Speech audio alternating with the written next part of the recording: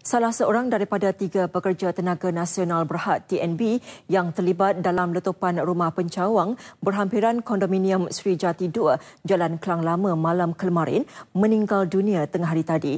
Muhammad Rozairi Ghazali, 34 tahun, meninggal dunia di Pusat Perubatan Universiti Malaya PPUM akibat melecur di keseluruhan badan. Pegawai Perhubungan Media TNB Arshi Mat Daud ketika dihubungi RTM mengesahkan perkara berkenaan.